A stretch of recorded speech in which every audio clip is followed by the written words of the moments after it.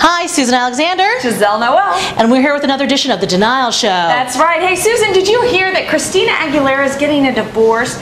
And she's been seen hanging out with Lindsay Lohan's ex, Samantha Ronson. Samantha Ronson, she's a gateway lesbian. Listen, Christina Aguilera, if you don't think Samantha Ronson's going to get you to switch teams, you're in denial.